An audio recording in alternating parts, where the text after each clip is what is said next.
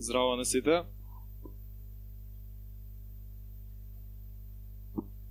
Прво да се заблагодарам на тимот на Beer.js што ни овозможи ваква прилика на нас, девелоперите, да кажеме нешто, да споделиме некое знаење со сите тука. На сите што дојдовте денес да не слушате, екипата од Истек, Аплауз ве молам. екипата од Coldcamp позади, сите други дечки што ме знаат и не ме знаат, јас сум Марио Стојчевски, па може да, да ја тргнам завесава. Имам и конфети. Не се слушаат. Јас сум Марио Стојчевски, софтвер инженер во Коуткен, студент на Финки, воедно во студентската организација сум подолго време истек, што ја спомнав. Таму сум soft skills тренер и сум доста голем JavaScript ентузијаст, се надевам како повеќето луѓе тука. Така да а, денес дојдов да ви зборам за нешто многу интересно. Како гледа, како што видите доле, имам gamer certification, сигурно имате повеќе сати од мене на CS:GO, имам само 600 сати. Тие се што се снимени, иначе другите ќе збориме за игри. Ќе збориме за игри во JavaScript, односно еден интересен game engine што се вика Phaser.js и многу многу интересно а, интересна е приказната како дојдов уствари јас да да бидам во а, делот на game development така да може тоа прво да ви кажам а, јас и Кристина тука се пријавивме на еден настан Game Jam може би го знаете а, правевме игра во рокот два дена требаше да направиме игра која што е целосно функционална и пробавме да бираме некоја алатка. Изгледа треба да се доближам вака така.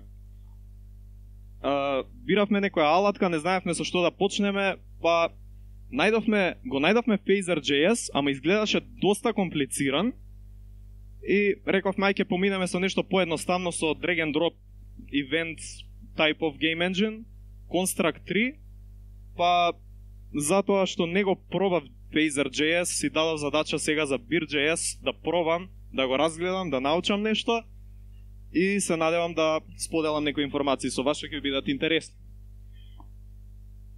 Агендата за денес, барем за а, тој дел ја што ќе го зборам, за агендата за другите не знам. Ке имаме а, три точки, do you even game?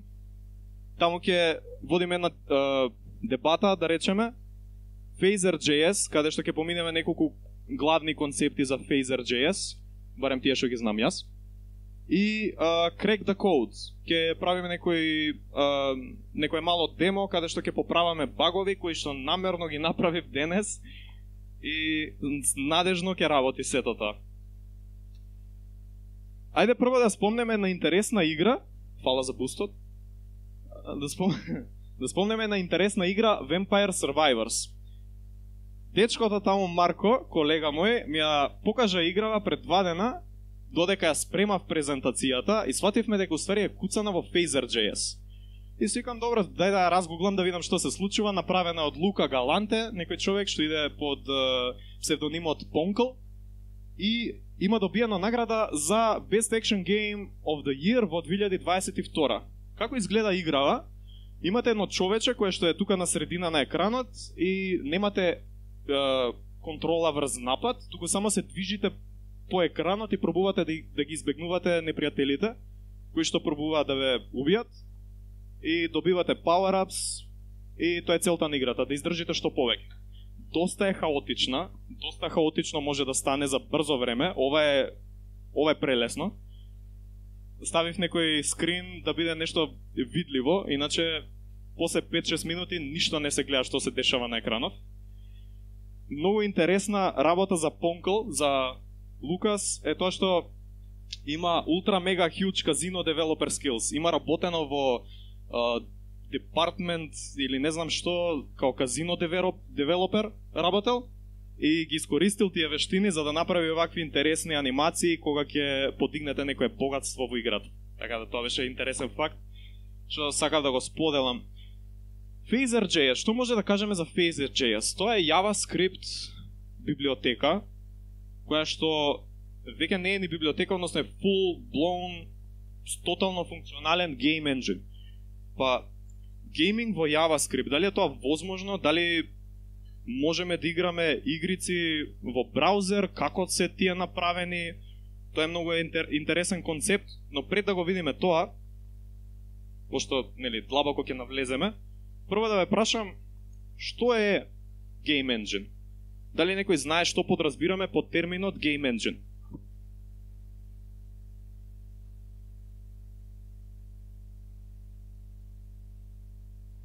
И ви давам малку повеќе време. Ама ќе почне Дарко да вика по мене, пошто... Не, нема да вика. Тука сум со микрофонот ако некој е заинтересиран за мислење. Добро, слушнав Unity во позадина, да се фокусираме на концептот. Што е Game Engine, не конкретен Game Engine. Фреймворк за да може да се прават игри. Алатка што нуди на девелоперите Повели? Добро, може да го речеме како развојна околина, алатка, софтвер платформа, нешто такво каде што вие почнувате да правите игрици. Сигурно нема утре ако сакате да направите некој дизајн, да речеме, ќе ви треба Photoshop, нема да земете терминала да отворите и да ротирате сликата преку терминала, знам дека има луѓе тоа што го прават, ама тоа не. Ке валја ќе отворите Photoshop И затоа имаме game engine за да ни помогнат ако сакаме да бидеме game девелопери. Па ајде дали знаеме некакви. Слушнавме Unity позадина. Сигурно знаете некој game engine. Што сте слушнале, што сте работеле во него, сте сакале да почнете да работите во него. Unreal? К како? Scratch. Scratch. Окей, да. Добро, друг? Source. Не сум слушнал за тој. Тоа е на, на Valve тоа? Срамота, имам 600 сати на кантар. А, значи вака, имаме Unity, Unreal Engine, Pixie.js, 3.js, а, еден од а, енджините Sirius Engine е хрватс, хрватски енджин кој што имаат направена играта Sirius Sam. Многу интересна работа, сигурно сте играле. CryEngine, ако сте играле Far Cry или Crysis, Тие се тој е енджинот на Far Cry и на Crysis. Па добро, има доста интересни гейм енджини кои што се мокни во однос на 3D, во однос на сенки, не знам што све не, 2D, 3D трансформации. Зошто да се замараме во JavaScript тоа да го правиме? Дали има некоја идеја зошто едноставно да не направиме игрица на десктоп и да не отвараме браузер воопшто, кога само додатни компликации ќе ни ќе ни отвори. Дали имаме некои бенефити од тоа? Повеле?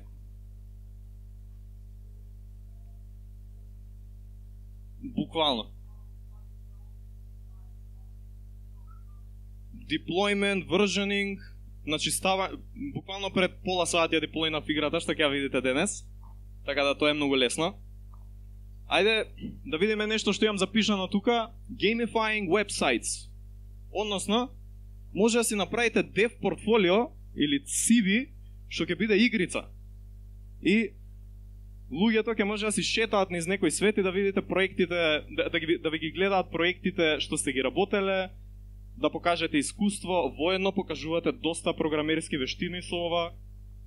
Но, не знам, стварно интересна работа. Имам видено во 3D да има изработено некој ваков, ваква сиви, буквално се пушта количка на средина на екранот и се движите лево десно низ некој 3D свет одите во некоја секција и во тој таму некој си секшн ви ги листа проектите или како зидови се направени, многу интересна работа. Многу поразлично од нели денес обичен обично портфолио што што сме навикнати на него, нели home, about, projects, uh, мислам ништо лошо со тоа, но one ring to rule them all. JavaScript у средина, не ни треба ништо повеќе, uh, не се замараме, крос платформ сме, играта живее во браузер, едноставно ќе работи на Mac, ќе работи на Windows, ќе работи на Linux, пошто отварате браузер и тоа е тоа, нема потреба да се замараме за ништо. И друга работа може да правиме вакви комплексни игрици, ова е Крункер, клоун на Counter-Strike со Minecraft тип на графика. Многу многу интересна игра, буквално е 3D свет, трансформиран на 2D канвас и доста интересно. Ако може нешто вакво да се прави во браузер, тогаш стварно стварно интересно да се разгледа. Е па добро. Ајде тогаш да почнеме да збориме за Phaser.js, да, ги- да поминеме неколку концепти. Прво, ќе разгледаме што се тоа Game Objects. Дали некој има идеја што се Game Objects? Може да си помогнете да со слайдот.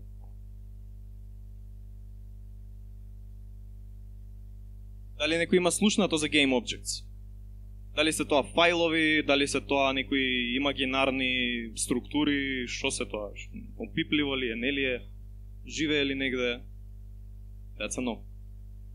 Добро. Game објекти се обични класи кои наследуваат од генерична некоја си класа, да речеме, во Phaser.js сите game објекти се класи кои што наследуваат од предходно некоја генерична класа, game object класа, и такви ги имаме повеќе. Имаме спрајтови, спрајт може да биде анимиран карактер.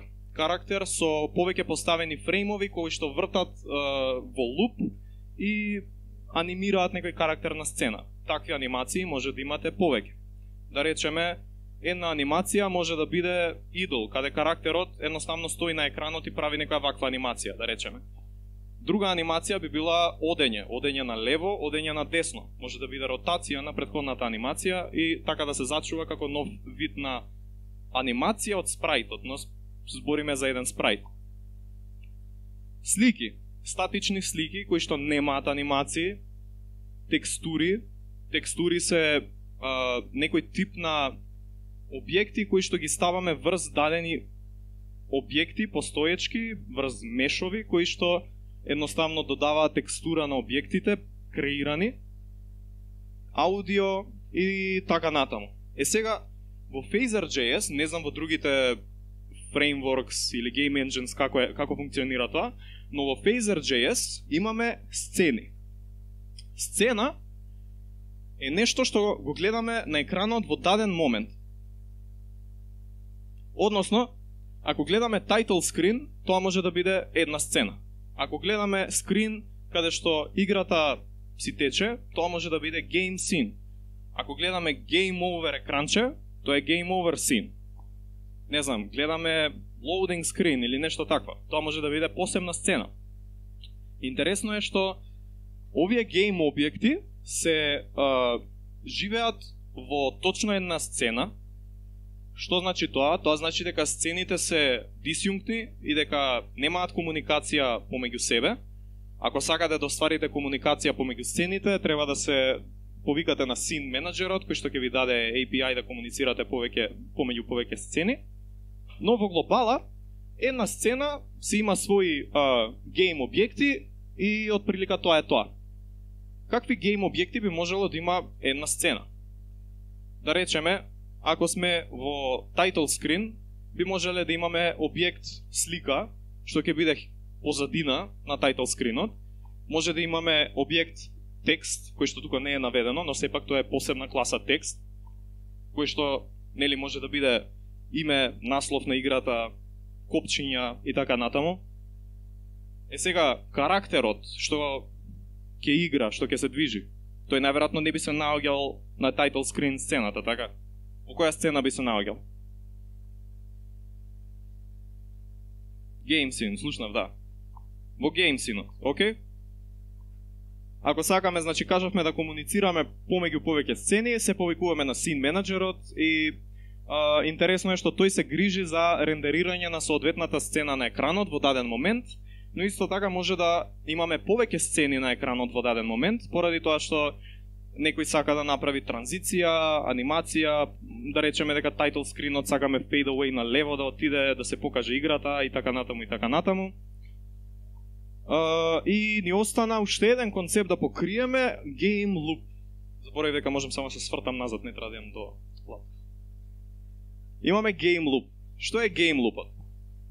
Дали некој има идеја што е game loop? Така, да ги фаќа ивентите, врти во круг и слуша на ивенти. Имаме ивент хендлери што ги имаме врзано за дадени ивенти и во тој им game loop едноставно само си врти е, на секој тик е, пробува да изврши некој код, во зависност од нашите услови може да се тригерне некој, односно ќе се тригерне ивент, може да се изврши ивент хендлер во зависност од тоа што го имаме ние напишано. Game лупот е составен од две фази, од update фаза и од рендер фаза. Епа, сега замислете дека сме во гейм сцената, да речеме дека еве ова е една сцена, јас сум карактер во играта и стојам во место. И да речеме дека тоа е кранот на играта и некој таму некаде ќе стисне на лево, така буквално стрелката на лево, го фаќа тоа ивент, а, го фаќа ивент хендлерот и на мене се извршува, на мене како game object, се извршува апдейт фаза, односно што прави тоа? Тоа прави влага во сите активни сцени во моментот да речеме дека е само гейм сцената активна и итерира низ сите гейм објекти. Пробува да види дали има потреба да се апдейтне некој од тие гейм објекти и да речеме дека поставува позицијата на мене на X оска во ваше десно. Но се уште тоа не е представено на екранот. Во код мојата X оска е поместена, но се уште тоа не го гледаме. Кога ќе се заврши апдейт фазата, започнува рендер фазата. Рендер фазата ги гледа сите апдейтирани објекти и пробува да ги провери со предходните дали нешто си има променето, да речеме. Ако има некаква таква промена, го брише од екран гейм објектот и ви црта нов гейм објект, но тоа вие не го гледате, нели? Едноставно премногу е брзо, се извршува на секој тик, односно на секоја милисекунда. И е, затоа добиваме некои интересни анимации кои што со малце логика, со малце креативност имаме доста доста интересни игрици. Тоа се трите концепти кои што сакав да ги покриеме денес. Па пред да поминеме понатаму, мислам дека е ексерсайзот следен. Да. Дали некој има некое прашање во однос на овие три концепти што ги гледаме тука за Phaser.js? Game објекти, сцени, game луп. Сакате ли да ги видиме во акција, да видиме како работа? Добро. Ајде. Се надевам вака дека ќе се слуша. Не, that's a no. Вака се слуша, да. Само малку да го тргнам ово од екранот, да ја препрлам играта.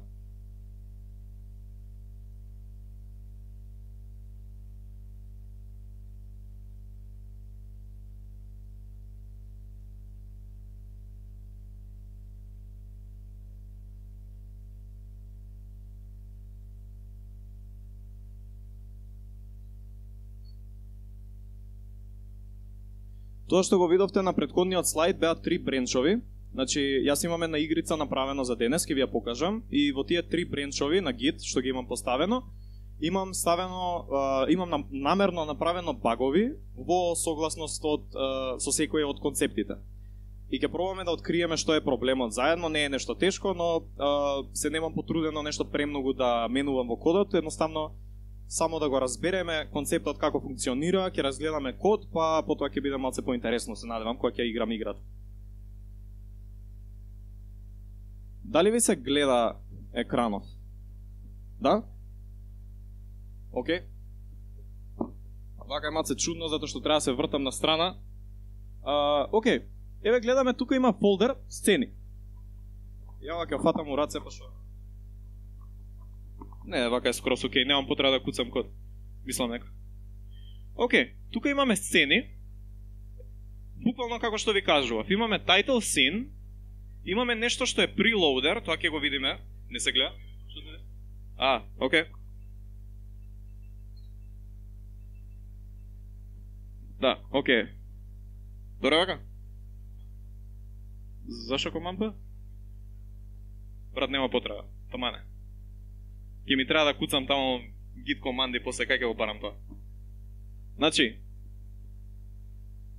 имаме title screen, имаме game scene, имаме credits, имаме нешто што е preloader. Дали некој има идеја што е preloaderот, зошто служи? Тоа е исто така сцена. Но, повели? Точно. На микрофонот ако може. А, рендерирање на асетите пред рендерирањето. Така, лоадирање. Ладирање, извини. Лодирање, точно. Лодираме асети затоа што не знаеме што ќе ни затреба во даден момент, не можеме да очекуваме дека ќе го имаме тоа во даден момент. Мора да направиме некој таков прилоудинг за нашите елементи, асети, слики, спрајтови да бидат спремни предходно и потоа да можеме да ги користиме во играта. Еве, гледате тука тајтл скринот дека дека екстенднува, наследува од Phaser Scene класата, така? И имаме preloading uh, preloading функција која што лоднува слика. Ове кажуваме дека ова ќе биде класа слика. И потоа имаме create функција. Create функцијата во Phaser.js служи за креирање на дадени моменти, дадени елементи, се извинувам, цртање на екранот, кои што се извршуваат еднаш пред апдейт функцијата. Е сега, што е апдейт функцијата? Ова е моја функција, ова не го гледате, нема потреба. Ова е исто така. Тука немаме апдейт функција затоа што нема потреба. Во title скринот сакам еднаш да нацртам нешто, таму сум да, во title скрин. Сакам еднаш да нацртам нешто, title скринот, сликата, копчиња, такви работи и не сакам да го пипам апдейт, не сакам да ја пипам апдейт функцијата, но во играта еве имам имам апдейт функција која што повикува други функции, повикува функција player movement. На секој тик се извршува ова и пробува да види дали има потреба да го помести човечето лево, десно, горе, доле, што што иде да јам искуцано.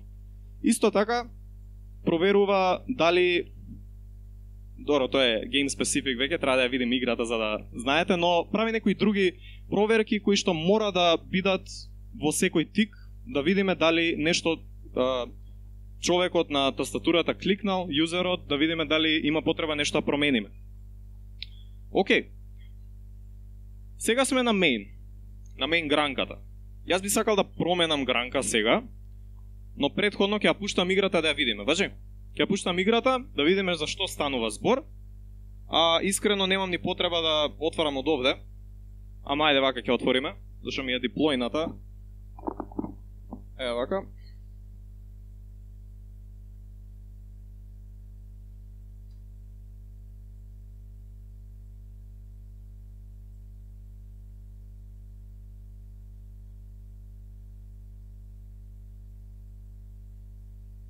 Маусот отида на први спрат, не може да го најде.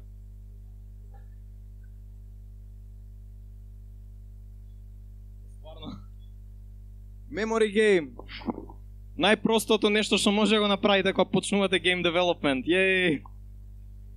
Океј. Okay. Е сега, memory game. А, сакам да се заблагодарам на Кристина, мојот дизајнер, гейм дизајнер, затоа што ова ќе изгледаше многу лошо да не работев заедно со нејзе. Еден аплауз ако може. Изгледа многу многу убаво. А, ова е тајтл скрин сцената. Имаме исцртано нешто и немаме потреба да вртиме луп. Имаме ставено ивент хендлери кои што се новие копчиња овде. Еве ајде да видиме што има во кредит пред да почнеме. Ова сме а, јас и Кристина, Марио и Лина на кратко. А, сакав да направам анимација каде што карактерите ќе се мрдаат доле па нагоре, но тоа не работеше. И ги вратив на иницијалната позиција чим стигна до одреден дел во Y носката, можете да видите дека рипа, тоа е многу лошо. Ама ќе поправам. Промис. Ако стиснеме на бек, се враќаме назад на тајтл сцената. Сега да го сликате ова? Океј. Okay. Сликам, да Тргнам курсорот. Може да се вратиме назад на тајтл сцената и да одиме, а, вика press space to play or click here. Ајде space. Ќе оставам микрофонот тука за да играм. Човечето, гледате моја капата на човечето. Значи, хаотично е. Имаме човече. Тече таймер. Ја не можам да кликам. Што се деша? Океј. Почнувам да се движам наваму и треба да отворам кутии. Стискам на space, отворев скопско Стискам на Space, отворив Скопско. Ги знам, на памет ги знам. Мајсторско, мајсторско. Не знам колку пати го поминав ова до сега. Кутнам стварно срамота. Кромбахер со Кромбахер. Еј, што? Не, 8 секунди. Океј, океј, океј, стигам, стигам, стигам, стигам, стигам, стигам. Не стигам. Не стигам.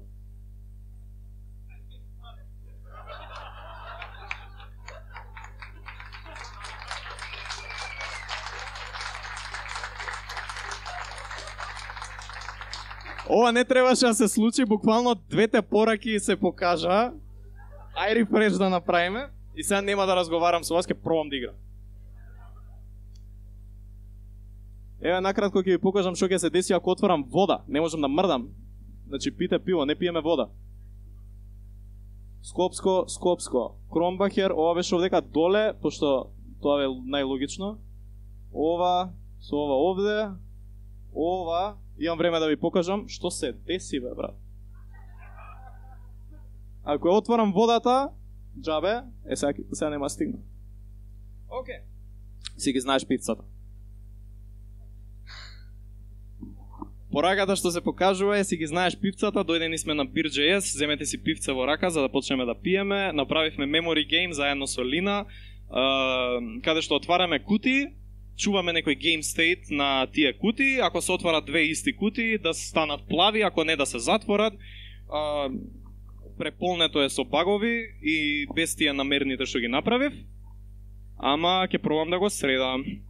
Многу интересна работа е тоа што поради идеја на Лина да ја диплојнам играта за настанот, ќе имате QR код на крај и ќе може да го скенирате и може да играте на телефон. Не очекувајте да биде јака. А, значи, кога ќе отворите на телефон, можете да кликнете на тоа копчето, нели пошто немате space, ако може да си брцнете space во телефонот да стиснете space. И потоа ќе можете со прстот да движите лево десно, ќе ве следи човечето и кога ќе стигнете пред кутија, кога ќе се направи зелена, ќе можете да дабл тепнете и ќе се тригерне event handler кој што ќе отвори едната кутија. Ако отворите втората кутија која што е точна, ќе се отвори нели втората и а, би требало да се затворат двете и да бидат плави, ама се затвара само едната, пошто нема време доволно да го средам. И тоа нема да ви работи, така да играјте на компјутер. Е сега, ајде да поправиме некои работи, односно прво да ги расипеме. Да се вратиме назад во кодот. Ај прилоудерот да ви го покажам, да видиме што прави прилоудерот. Ова е првата сцена. Односно, од кај почнува проектот, историја? од кај почиња проектот? Почиња од main. Во main, не ги гледате импортите, не се битни. Имаме config објект, кој што config објект има некои ствари внатре и ам, ги, се, ги сетираме. Имаме width на екранот, height на екранот, имаме background purple, кој што можете да видите, ова scale ја прави целата магија во позадина за да можете да видите колку ми е ужасна играта на телефон. А, ставаме некоја физика и еве ги сцените. Имаме ареј на сцени кои што се извршуваат а, итеративно една по друга. Прва е прилоудерот, така да, окей, гледаме дека имаме конфиг, гледаме дека го ставаме конфигот во конструктор phaser.game, креираме игрица, што реално не, не го ни пипаме објектов, само се стои Ајде да видиме што има во прилоудерот, затоа што тоа е првата сцена што се рендерира, така? Ако отидеме во прилоудерот, гледаме дека имаме прилоуд функција, освен конструкторот, тука е многу битно да напоменам дека кога креираме сцена, имаме конструктор и пренесуваме а, key, клjuč, string клjuč, која што служи за именување на таа сцена, затоа што после после ќе треба да користиме нешто вакво this.scene.start нешто друго и не треба тој клjuč. Значи тоа треба да биде направено. Е сега, во прилодот си лоднуваме некои фонтови, си лоднуваме некои сликички и ајде сега ќе разгледаме овој спрайт шит овде. Овој спрайт шит, еве го како изгледа. Еве го спрайт шитот, како што можете да видите, а, огромна слика со нешто што може да се подели на 64 по 64 пиксели. А токму тоа и го правам. Еве, кажувам дека uh, width ми е 64, автоматски хајтот го фаќа, ми го дели тоа и ми дава матрица од слики. И после, еве ги тие скопско златен даб сликите, и после јас си креирам анимации. Моите анимации се состојат од тоа што а, креирам анимација down Idol, односно човечето што се движи вака надоле, од еден фрейм, пошто нели не мрда, 52-иот фрейм, ако изброиме, не сакам да броиме, тоа е 52-та слика каде што човечето стои надолу. Ајде да разгледаме движење во десно. Еве, анимација движење во десно вика а, right idle е тоа, се извинувам. еве right walk, движење во десно, е сега не е еден фрейм, туку има повеќе фреймови од 78 до 80 слика. Односно, што се случува, имате сликите кај што човечето е uh, face right, вака, имате една слика ваква, имате една... Не можам да стојам у воздух, така? Имате една слика ваква, имате една слика ваква. И после се, се репитнува тоа целото и се врти во круг. И викам, кога ќе стиснам десно, игра ја таа анимација бесконечно. Кога ќе опуштам копче да престане. Тоа буквално е тоа. Е сега. Видовме како лоднуваме асети. Видовме што е сцена, видовме гейм објекти. Видовме дека лупот врти и слуша, односно бара нешто да промени. Сега може да смениме гранка и да пробаме а, да пробаме да пронајдеме некој проблем со сцени.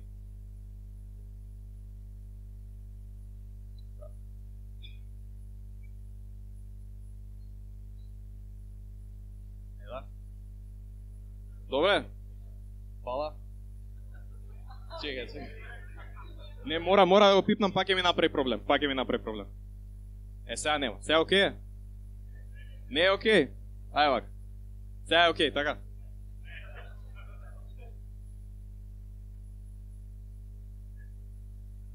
Може вака некоја магија да направам овде?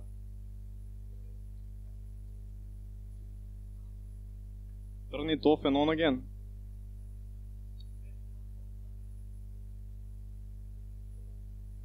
Каде ми тоа?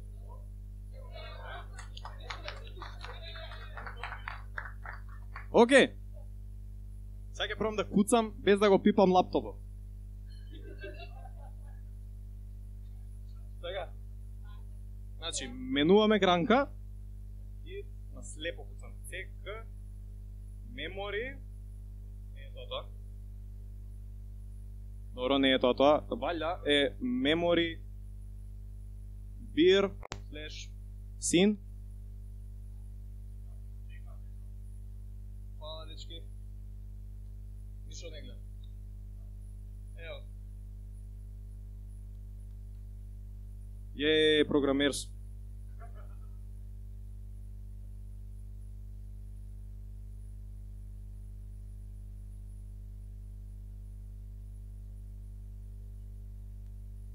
Овде нешто чудно се случува. Не ми се стартна играта. Што се случува овде? Ајде да видиме. Ајде пред тоа да не си го искршам вратот и да ги дуплицирам екраниве. Каде е маусот, човече? Вау. Чеки.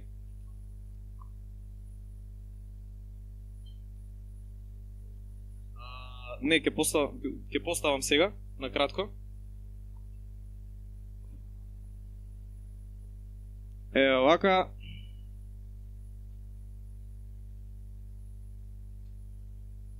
А, ево го. Океј. Јеј, можам да го гледам и кај мене сега. Optimize for Mario's MacBooker. Air. Океј. Епа, дечки, се сменивме на таа гранка за сцени. И сега можеме да видиме дека играта е расипана. Нешто не се покажува играта, имаме проблем внатре. А, само вие промени кеширани да ги тргнам. Е, имаме weird scene. Нешто се случува ако стиснам space иде играта, ама го немаме title screen Ајде да видиме што се случува. Овде, во сцените, некој ни додал, тоа сум јас, weird scene. Кога ќе отидеме во main.js, имаме preloader па weird scene. Што мислите што се случува тука? Ај ќе отидеме во preloaderот. Ако отидеме крај, на крајот на кодот овде, гледаме дека се стартнува таа weird сцена. Овде дали треба нешто да променам, да речеме да го земам клучот на title синот, да пробам, да речеме, така. Да видиме дали прилоудерот ќе скокне таа weird сцена и ќе ми отиде директно на title screenот. Океј. Значи гледаме дека можеме да врзуваме, да конкатенираме сцени на некој начин, една па друга па трета, да правиме а, некој вид на транзиции помеѓу една и друга сцена. Ајде сега да видиме Ајде еве гейм лупа да го видиме. А, претходно овие промени овде што се случија, што не сум ги средил. Тоа се генерира секој пат кога ќе стартнам играта, затоа што се билда, ама ги немам игнорирано тие фајлови. Зошто ги немам игнорирано? Зашто сакам да ми бидат на, на GitHub, зашто така ја така ја диплојнав, ама технички можам еднаш да ја диплојнам и да ги паталам тие фајлови, само не сум ги средил. Еве сега ќе отидеме во Game Loop. Се префрливме тука, исто така npm run start, ќе се стартнеме нашата игра. А, повторно тука кеш се направи, не, окей, супер сме. И отвараме играта, кредит си работи, идеме back, клик here, таймерот не работи. 0-0. Што се дешава век? Во која сцена да гледам?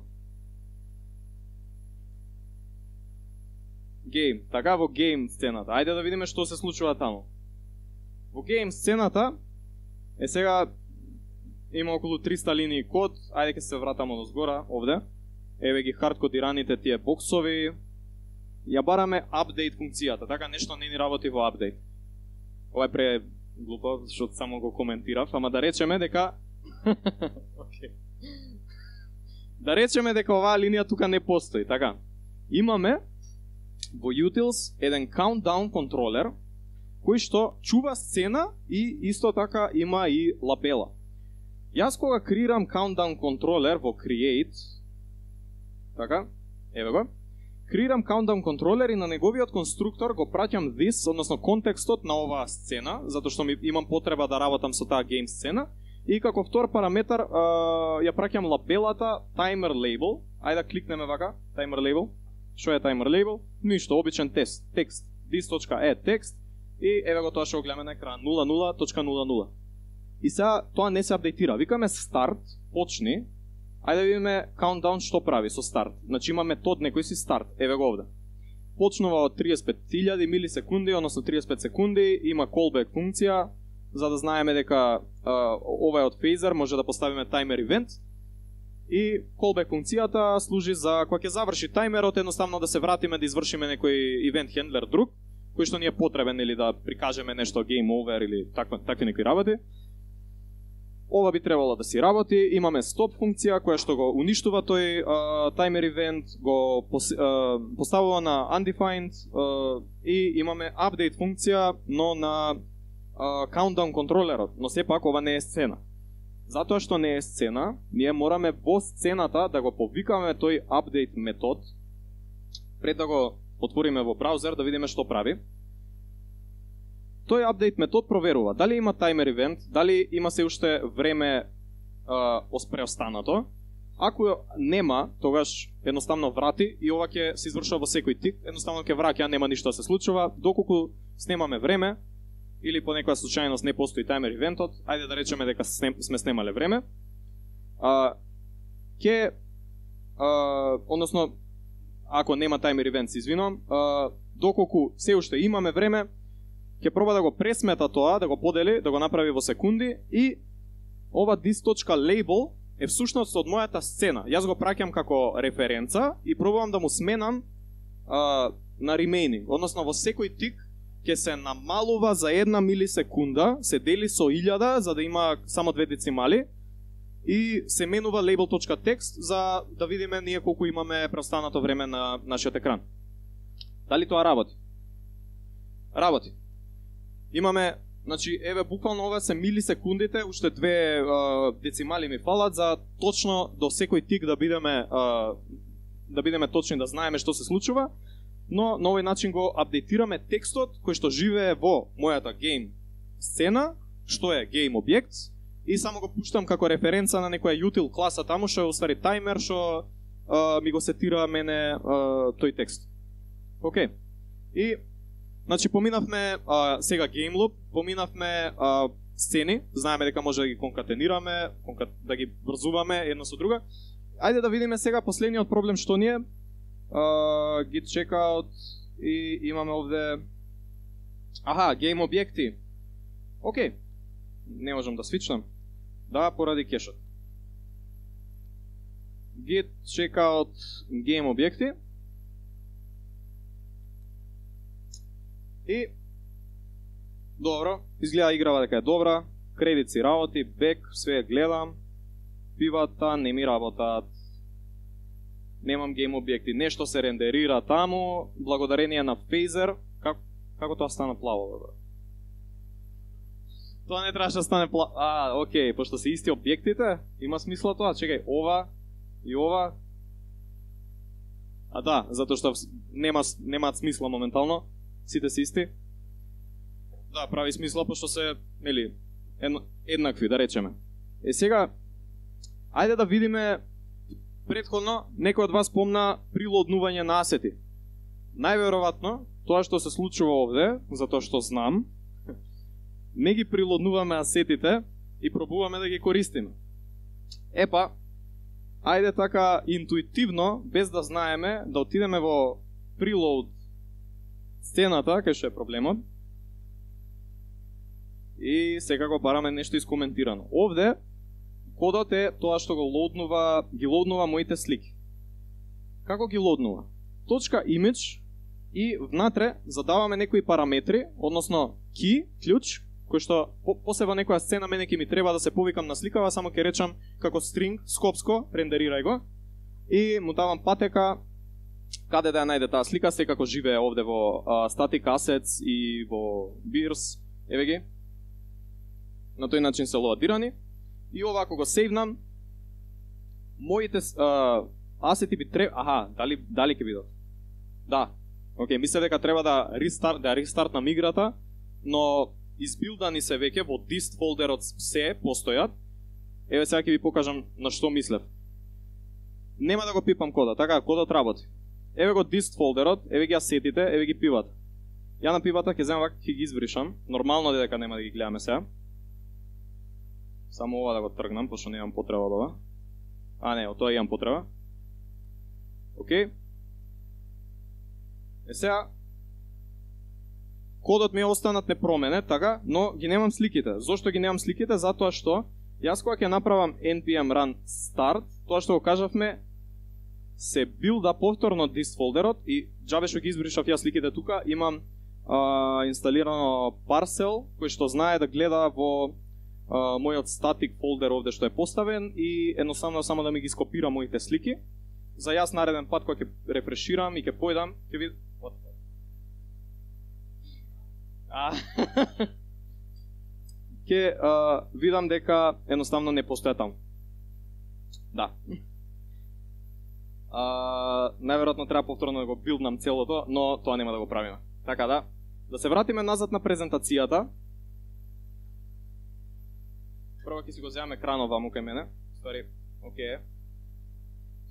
Ги видовме трите типови на проблеми што можеме да ги што можеме да се сретнеме кога креираме некоја таква игрица на почеток, ќе отидеме до слайдот каде што застанавме, застанавме овде на гранките, ги пробавме а, тие гранки за гейм луп, за сцена, за гейм објекти и видовме а, каков е животот на гейм девелопер дека е многу лесен, кога нешто имаш направено. Добро. Ајде вака. Ready to dev. Слайдов овде го имам поставено. Не беше толку лесно да зборам вака и да куцам код, но а, стварно е доста интересно ова да се прави. Сакам да ви поставам неколку прашања. Дали ви се допадна тоа што го видовте? А, ви покажав неколку игрици во Phaser.js, во JavaScript. Дали некогаш се гледате вие како човек што би пробале JavaScript библиотека за креирање на игри? Дали некој има пробано да прави игри овде? Добро? Видов Десетина раце видов, ама на секаде. Добро? Дали некој има направено игра о, а, не пробано, нели? Туку направено целосно. Полуфункционално. Океј, океј. Добро? Дали сте работеле во некој друг гейм engine? Дали некој од вас има повеќе искуство во Unity, во такво нешто, да речеме, Maya, креирање на 2D, 3D објекти, бил на Game Jam, може би. Добро, дали сакате да споделите искуство, како е да се куца код за игрици? Некој? Океј. Е, па тогаш, јас ќе споделам дека е доста интересно, доста е поразлично од тоа што сум навикнат. Навикнат сум да куцам веб апликации на работа, што е доста, доста интересно, но ова е нешто сосема поинаку на кое што треба да обрнете малку повеќе внимание, да речеме. И без да должам, би сакал да го пуштам следниот слайд на кој што се гледа а, матка, водно и крушево во пиксел арт. Па, да ве прашам дали имате некои прашања пред да ја затвориме оваа сесија и да почнеме со наредната. Повели? Пази да не се сопнеш. Здраво, Марио. Здраво. Се, се знаеме ние. А јас имам прашање за фейзер а, со, ко, со колизија а, справување. Со колизија? Да. Тоа може да го видиме вака.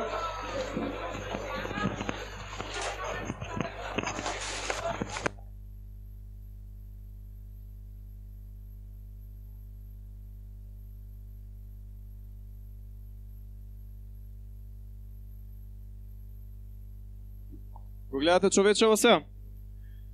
Еден колега од работа ме ругаше, вика, човечево ти е тука и не можеш да поминеш надоле, што правиш со колизијава?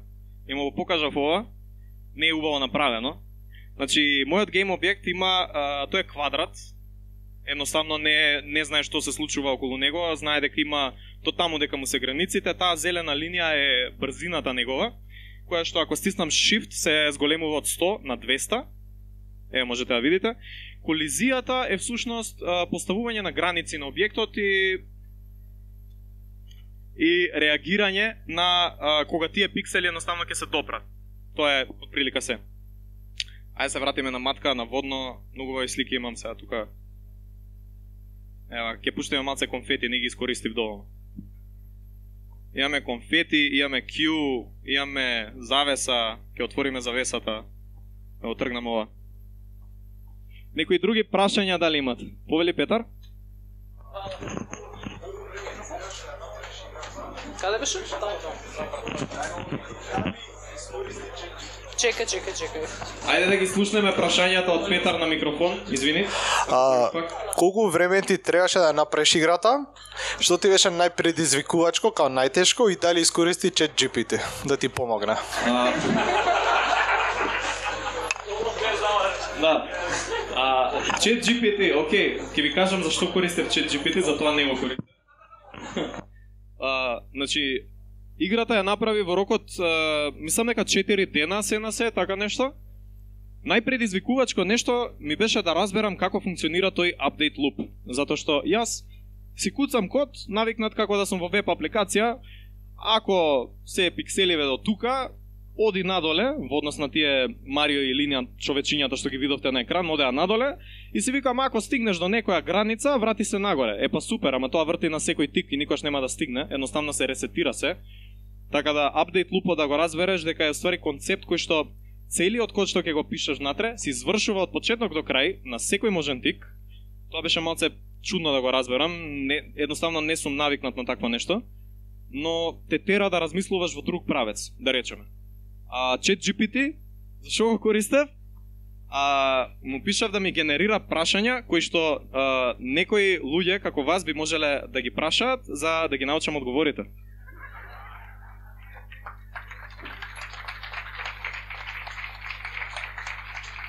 Дали имаме некое друго прашање? Таму има после дечко Се слушаме? Океј.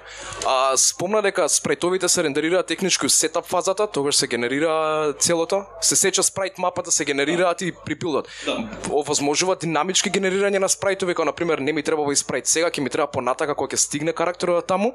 Као не кем сега да го рендерираш за да не го успорам лоудинг тајмот. Дозволува динамички? Да, да, да, тоа најверојатно не го објасни убаво. Во прелоудинг а, сцената што ја имавме, имавме лоадирање на спрајтови, но само ги лоадираме, ги чуваме некаде во некој си стейт, не ги прикажуваме на екран. Затоа што во некоја сцена која ќе ни затреба, само се повикуваме на тој клjuč, да речеме player, и викам само точка play, било која од анимациите што предходно сум ги креирал. Не мора да ја цртам директно на екран, тотално си во право. А, за било што и да ти затреба понатаму, само се повикуваш на клучот на анимацијата и се рендерира на екран. Фала на прашањето. Некој друго прашање? Здраво, здраво. А, сакам да те прашам, пошто спомна дека Vampire Survivor се правена во Engine-ов Да. и тоа е десктоп игра.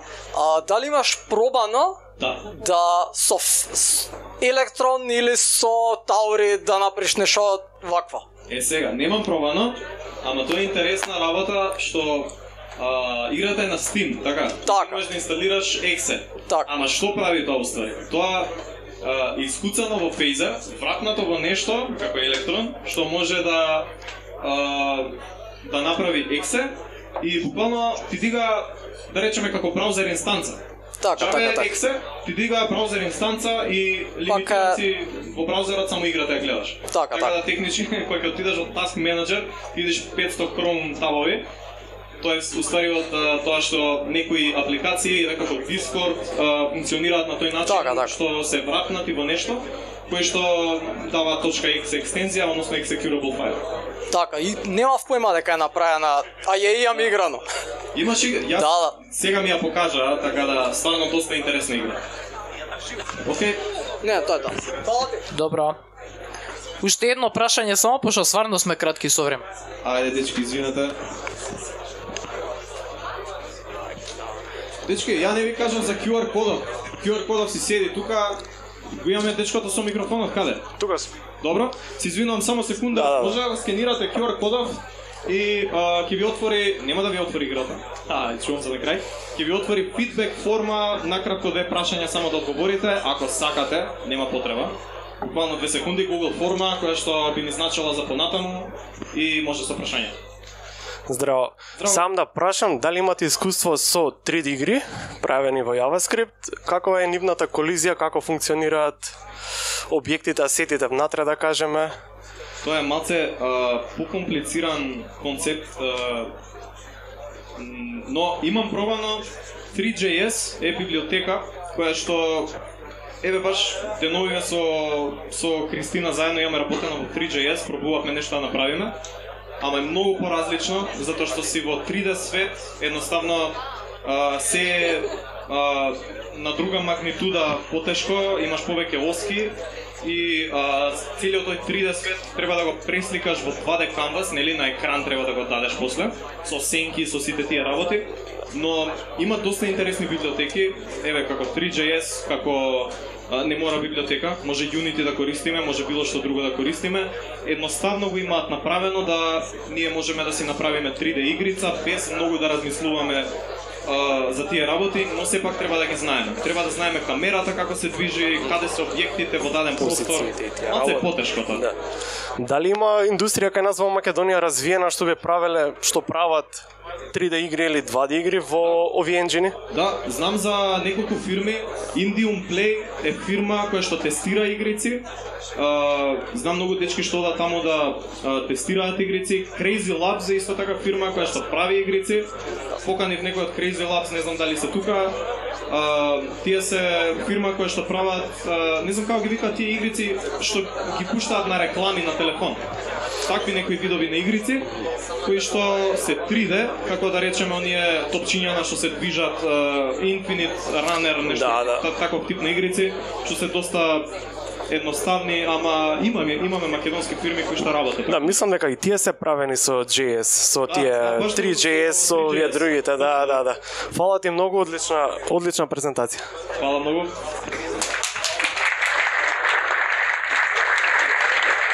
Дечки, Фала многу на вниманието. А, додека Дарко не ме избрка, можете да си го скенирате QR кодов за играта да ја пробате. И така и ќе ме најдете на GitHub, така да пишете ми не на GitHub, туку на LinkedIn, ќе имате таму кај да отворите. И ајде не ти одзем више од време тука. Ќе го оставам лаптопот ше малце нека скенира. Нема проблем, би те уште саат време да збориш и ми се онака, ама сме малце ограничени со време. Така да, 2-3 минути пауза, продолжуваме назад со следната презентација. Уште еднаш благодарност до Марио за многу добрата презентација, ве молам аплауз. И ова мислам дека по пети или шести пат го кажувам, онака најпроколната работа на свете да презентираш на сцена лайв, се што може да биде погрешно ќе биде погрешно. Така да фала уште еднаш онака и се гледаме за кратко.